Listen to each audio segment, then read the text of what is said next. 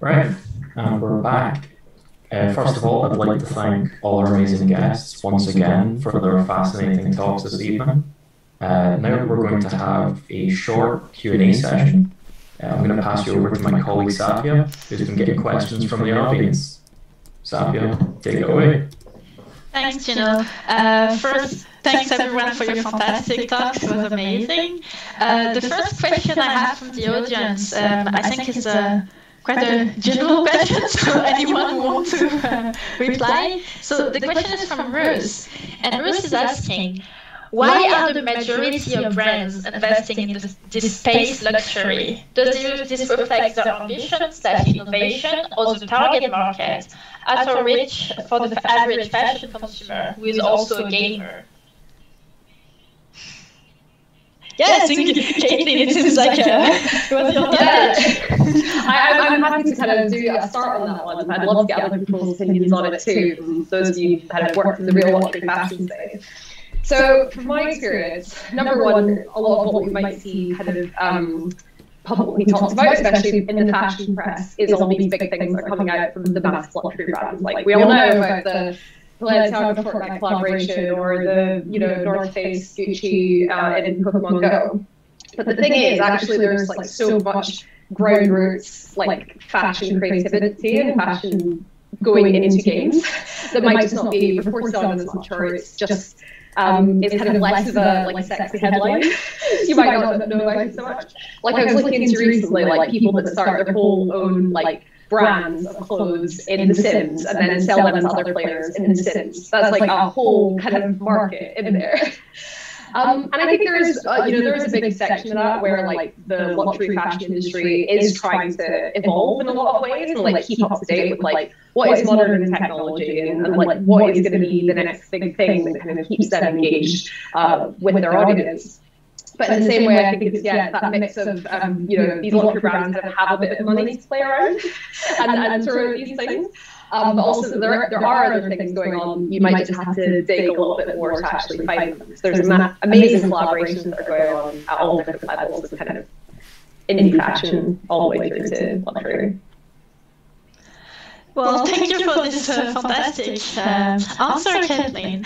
Um, so now I have uh, also question. I actually have one question for each of the each of the talks. So I'm going to start with uh, Kira. So Kira, uh, the question that we have is, uh, can you tell us anything about fashion choices for characters in the Ouagadougou Chronicles? Have you been involved with it at all? Hello, hi. Um, I haven't been involved with the process, but um, I know that you know game design and you know just design in general, a lot of thought process just goes into the way fabrics are, how they move, how they rest on the body.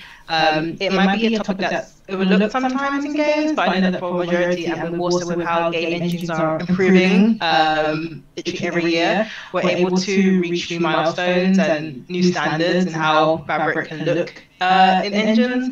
Um, so I haven't had um, the chance to work with that with my team, but um, yeah, it's something that uh, we are working on, and um, it's something that I hope to see a lot in upcoming games in the future and now. Um, just more thought process into how fabrics can look and be imitated in the virtual space. Well, that, that sounds, sounds great. Thanks. Thanks for your reply. And talking about fabric and games, I think it's uh, uh, makes sense now to ask a question from Yeah. The question is, um, so uh, clothes simulation seems very technical and difficult. Can you tell us a bit more about your learning journey? Um, basically, um, I was studying at National Film and Television School with my major in visual effects. So at that time, I already started to learn like uh, Maya and also teach, uh, taught myself with Houdini and stuff.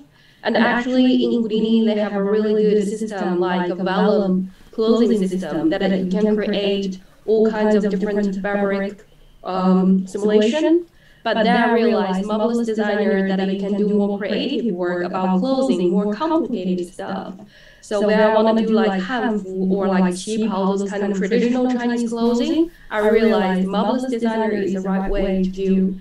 And animations are mostly from Mixamo, and that's how you get like free rigs. So it's easier for you to animate it and then simulate it in Marvelous Designer.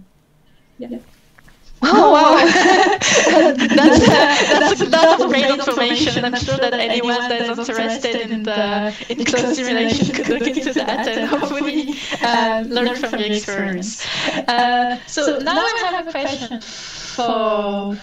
Um, I have a question for Jeni. So uh, it's a question about your um, your process. Uh, which process do you enjoy better, physical or digital sampling, and how comparable are they? Um, that's a really good question. Um, I guess because um, I'm kind of focused on knitwear, the differences between physical and digital sampling are like quite extreme, I guess, because when you're doing physical sampling, if you're not using any digital tools, you need to do your knitwear pattern calculations by hand. So that's a lot of like writing out maths and um, working out ratios between how many stitches and how many rows you're knitting. Thinking about things like shrinkage, um, so that when you wash knit, it shrinks and different fibres will shrink by um, different kind of percentages. So you have to bear all that in mind when you're developing product. Um, obviously, in digital sampling, you have like you can sort of set then parameters and set presets for all that. So you can input how many stitches per centimeter, how many rows per centimeter, and like click a button and you've got your pattern calculations there. So it's much quicker. Um, I've also like from the working in industry, it's also much easier to work collaboratively digitally. So um, quite often when I was developing products for brands and for luxury brands, they would work with a supplier in Scotland, say, but they would also maybe have knitwear factories in Italy, in uh, France, in Monaco. And quite often, what happens is that if an order is big and one factory can't fulfill it, the files would be shared between factories in the same luxury family. So, um, like one big brand tends to own or work with a set number of factories. And if you've got the files digitally, then it's very easy to kind of pass them over and for some of the production to be done elsewhere. If you're working just physically, then they have to then receive a garment and reverse engineer it to work out how they're going to make it. So, kind of physical digital sampling is like hugely different in the of world, and then definitely quicker digitally. Well, that, that sounds, sounds very interesting. interesting. I really like how you explain that, that it makes it so much easier for collaboration as well. That's uh, on top, of course, of the sustainability aspect that you talked about in your talk. Well, thank you for your answer. Um, now I have a question for Ashley. So the question for Ashley is, um, did you ever make kigurumi or video game characters to bridge even further the gap between your game art skills and cosplay skills? So um, that's an interesting. That's an interesting thought, actually. So because I was an environment artist, I wasn't a character artist. I was hired to do uh, scenery, landscape, houses, props. Uh, no, I didn't touch any people at first. Uh, that sounds wrong. You get what I mean. um, I knew that I loved creating characters in a different way. Like I love, I'm interested in makeup. I'm interested in drawing people. I've always liked drawing people more than trees, for example. But it, um, it wasn't my specialization in my job. It still isn't. Uh, so no, I have not made really for uh, game characters, but uh, I could see how it could easily be done. I know there's a company uh, that I mentioned in my video called King Mask, and they have recently made a small scale printed um, kigurumi masks to go on dolls. So your doll can have this mask that can go on them. So imagine a Barbie doll having um, a kigurumi mask on, so it changes their head like that, you know? And I think that's really cool. I think that they're thinking out of the box with that sort of thing. Uh, yeah, so I think it would be really cool, but ultimately not necessary because um, 3D characters' heads are basically exactly the same as a kigurumi head, just sliced and shelled and prepped for printing, so you could sculpt a 3D character, slice their head off, and make a mask out of it, like really quickly if you wanted to, if you know what you're doing. Um, so I think that prospect is more interesting. Like I'd love to see you know, video game characters like Nintendo going, ah, make a mask of Princess Peach. You know what I mean? I think that's really cool. Thanks for your play. It's even more impressive that you were an environmental artist before and now you're sculpting uh, the face mask. So that's that's really interesting. Thanks. Um, I have a new question from the um, uh, from the audience, from the chat, from Eilish. Eilish is asking, um, I guess this is more a question for Mia, but maybe other guests will be able to answer as well. If you're a complete beginner and want to get into 3D closed simulation, what are the best programs? Um, what are the best programs uh, to begin with? Sorry, what are the best programs? Example, Maya, Houdini, etc. What's best for, particu- for particularly for self-initiated learners? Um, I say um, the easier the easy way to do is definitely learn a tiny bit about Maya because Maya is a software with a lot of pipeline in it, like animation, like modeling, like everything. You can start from there. Or, uh, but if you just want to do clothing instead of animation or anything else, you can start with Marvelous Designer or, like you mentioned, the CLO 3D. That's a good starting point, I think. Houdini is a bit complicated because it's very it uses uh, Python and also a little bit of coding. If you your logic is perfect, you should try it. Yeah.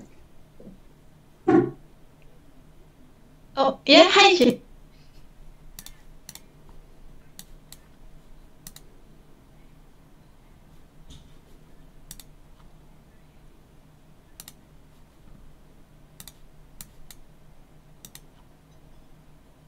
If you're self-initiated kind of learning by yourself, you could just follow like Chloe have like beginners part one, part two, like all these playlists on YouTube. So that's quite a good place to start um, if you want to go down the Chloe route. Yeah, I watched a lot of Chloe um, YouTube videos actually, so that I can know how to do it in Marvelous Designer. Yeah, they're they're super similar, I think. So yeah, there's a lot of crossover. well, that sounds good. I'm, I'm, glad to see that we're all using YouTube to, to learn new skills. I uh, just say we've got time for one more question. Well, that's great because I have one more question, and this awesome. is a question for Alexandra. So, Alexandra, uh, was the team inspired by existing brands of fashion designer for the character's fashion style? Um, so the characters are kind of designed based on several different references of various kinds. Um, so oftentimes we'll like for a specific character we'll have just like um, it almost looks like a mood board sort of thing where you have the character um, we have some like basic narrative information so for example for valeria she's um, like a she's like an artist and she's she was originally supposed to be Russian. I don't think she is anymore. Um, so we had all these different like a, a lot of times from Instagram we take things like just fashion Instagram, and you know we like the the vest was from an art artist. So we're like okay the artist has to have a vest and then whatnot. So it's like very much less of like brands and more of just like the feeling that clothes give and sometimes that's inspired by a particular picture or a celebrity. Um, no one character is a specific celebrity, but if if you saw like we maybe have three celebrities and we mash them together, um, and that's the character. So yeah. Well, thanks for your reply. I hope you will inspire other um, aspiring designers that are looking for inspiration for their characters. Well, thank you everyone for taking the time to answer all these questions. Yeah. Thank you. Thank you for having us. Yeah, thank you. Really thank you.